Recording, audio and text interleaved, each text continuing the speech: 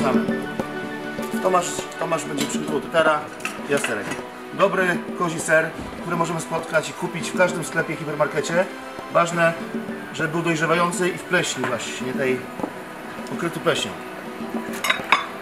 Patelnia musi być mocno rozgrzana. Ser mamy z dwóch stron zrumieniony. Jak widać jest już bardzo miękki. Wkładamy piękny kawałek miodu. Tyle już zagrzane, z niego płynie, proszę bardzo. Patelnię zrumienimy owoce. Syrop z agawy. Do podkaramelizowanych owoców dodajemy świeży tymianek oraz rozmaryn.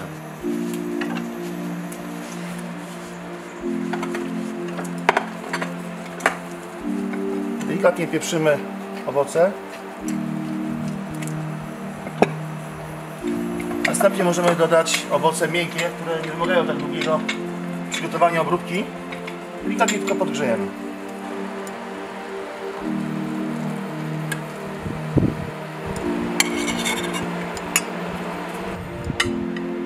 Tak mamy oto mega dużą przystawkę, bądź nawet deser, owoce, miód, kozi ser.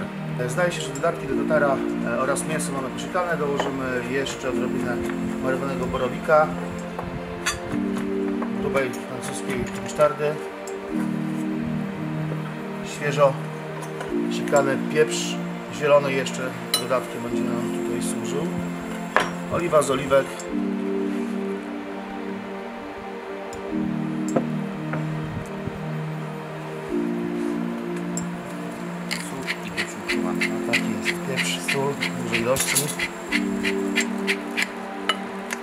W restauracji używamy świeżego lubczyku zamiast magii. Co nada charakterystycznego smaku. Proszę bardzo. Piękny cąber z jelenia. Proszę zobaczyć. Mega kwisty, soczysty kawał mięsa. Mięso delikatnie osolimy.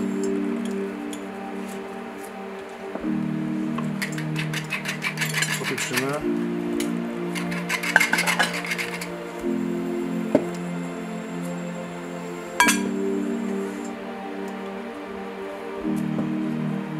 Zamkniemy na żywikowym oleju. Tatar jest gotowy. Wykończamy go mikroziołami, e, mikrokiełkami. Somber mamy pięknie zamknięty. Dodamy dwa rozliczone ząbki czosnku. Odrobinę masła. Spastujemy mięsko.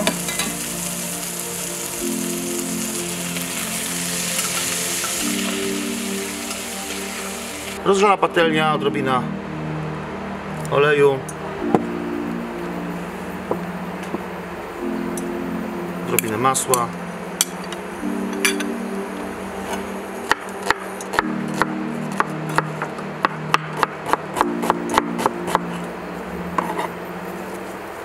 Cebulka. Świeże kurki.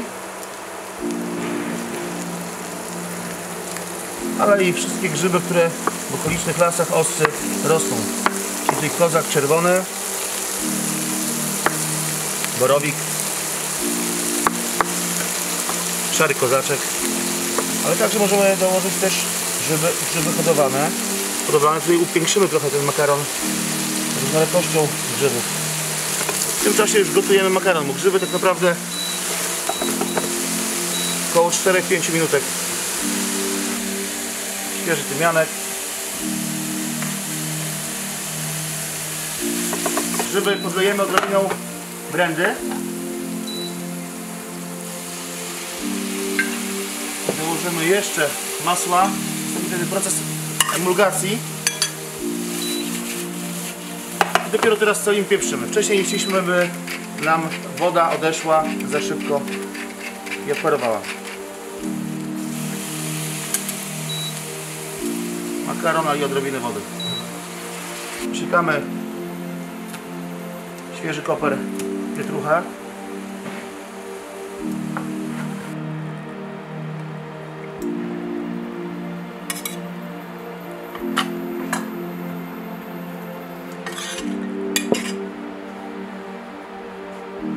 Naszego jelenia, delikatny somber,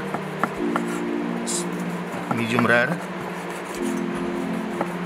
Soki zostały wewnątrz mięsa, więc tak powinno być.